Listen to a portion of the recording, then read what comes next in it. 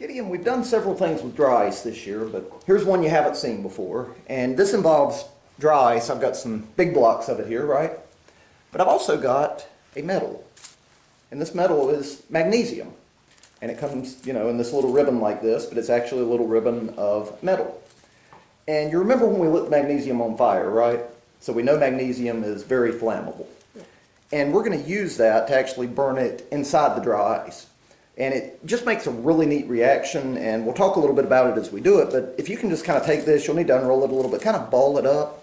What we're going to do, we're going to put some magnesium ribbon inside this hole that I've carved out in my dry ice.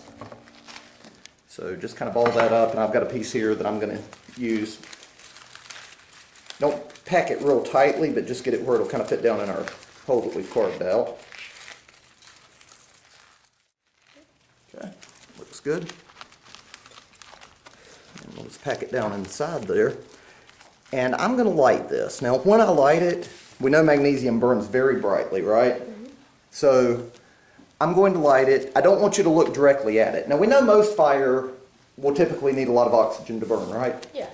But magnesium is interesting. It burns very hot. It burns at about 3,000 degrees as opposed to a normal fire that would be probably, you know, a third of that.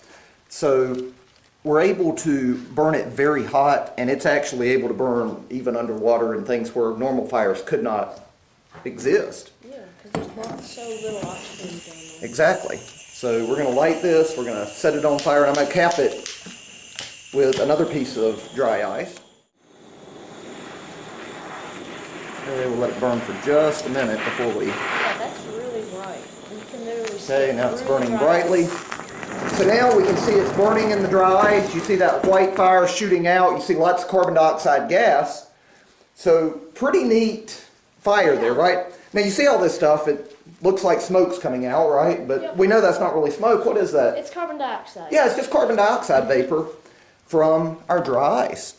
So that burned up pretty quickly, right? You want to do it again? Yeah, let's do it again. Okay, I'll tell you what, if you will just dump that in that beaker there, we'll get us some more magnesium and try it again. All right, you want to light this one? There you go. All right, just hold that down over it, and let's get it lit, back it up a little bit, get it kind of right in there. And once it starts burning, I'll let you know when to pull the torch away. Keep it there just a minute. Okay, let's get this over on that side. I'm gonna get it burning pretty well. All right, let's cap it. Get our torch off here. Burning, but as it does, you hear that hissing sound. That's the gas escaping out from underneath the carbon dioxide, as you can see it here. Um, you see the fire, some of it kind of even shooting out from underneath, and you can still see it still, Yeah, even though this dry ice is so cold, that what's left, and it's actually not magnesium anymore once it burns, it makes magnesium oxide because burning oxidizes the magnesium. But you can see it's glowing red hot in there even for several seconds, even though We have like the uh, dry ice Yeah. around it's so much colder. And we've got a little bit of magnesium left. You want to do another one? Yeah. Let's do one more. Do This is a lot of fun. Okay, here we go. One more time. Let's get it burning good.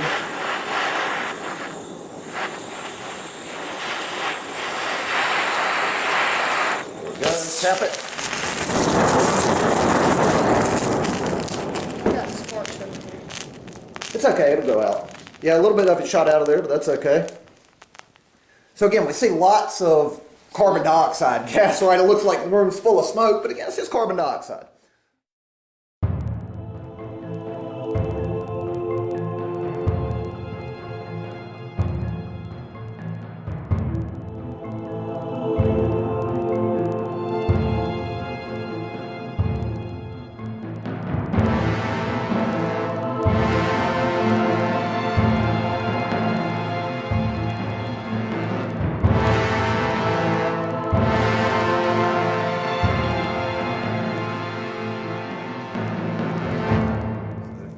Neat reaction there, just oxidation of magnesium through burning it and having it inside the dry ice makes a great, I guess we'd call it a great light show, right, with our Yeah. burning magnesium. It's like a fireworks display. Fireworks display, exactly. Science. Science.